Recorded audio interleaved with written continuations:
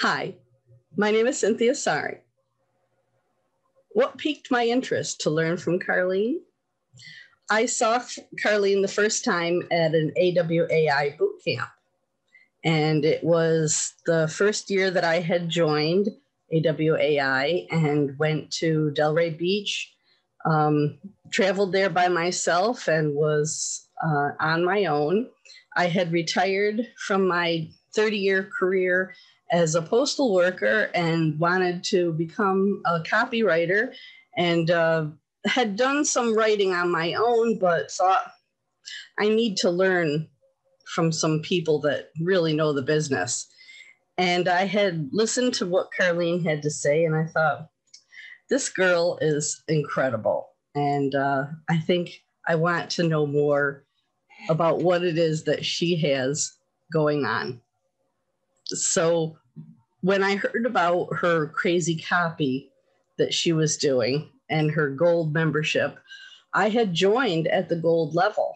Uh, I never even started at the basic member mem, um, as a basic member. I started right in at the gold level because I wanted to get the most out of being a gold member and, and learning the most that I could.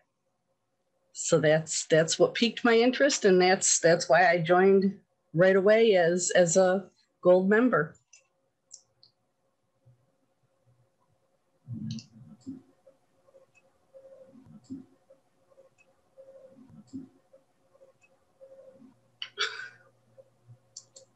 How has Carline helped sharpen my copywriting skills? I am a published author.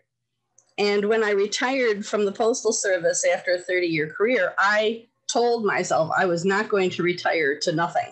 I was going to be a copywriter. And I told my husband that I was going to be a copywriter.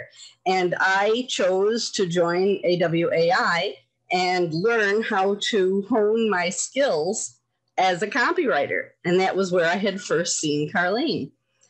And I said, I'm going to join Carline's circle and learn how to write crazy copy because I just felt that her copy skills were a step above what it was that I wrote. Even though I had been a published author, I thought that the way that she teaches and relates to her audience is the way I want to relate to my audience.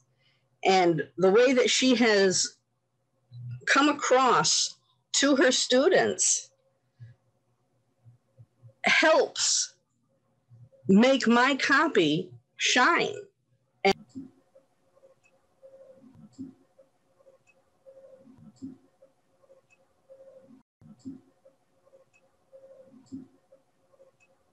and, and evolves it into copy that speaks the way that she speaks, which is what I wanted all along.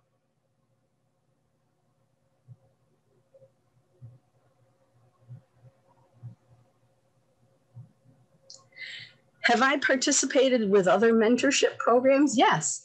Um, like I said, I have been a member of AWAI since 2016, and I have taken several of the different mentorship programs through them. Um, I've also done um, mentorship programs through Steve Slaunwhite, uh, Will Newman, Marcella Allison, Ben Settle, um, and also, of course, with Carline. And I love Carline's take on reaching the audience that she features. Now, she writes in the alternative health field. And in order to reach this audience, which seems to generate towards the 50 and older crowd, you have to say something that's going to speak to them.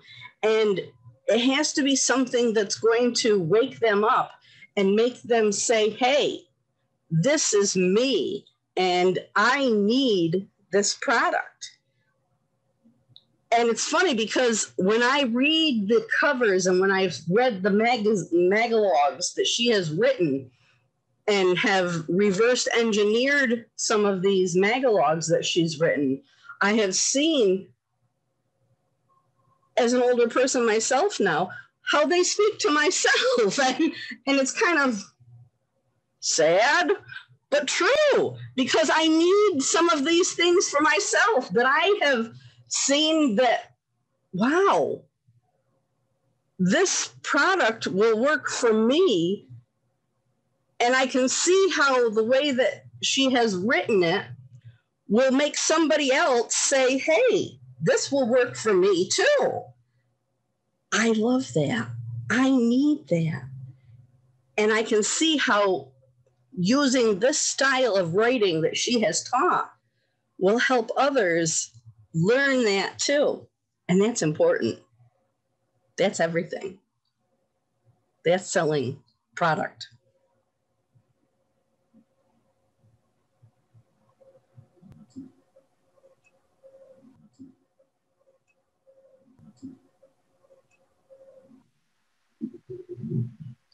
What would I say to someone who is considering receiving training from Carline?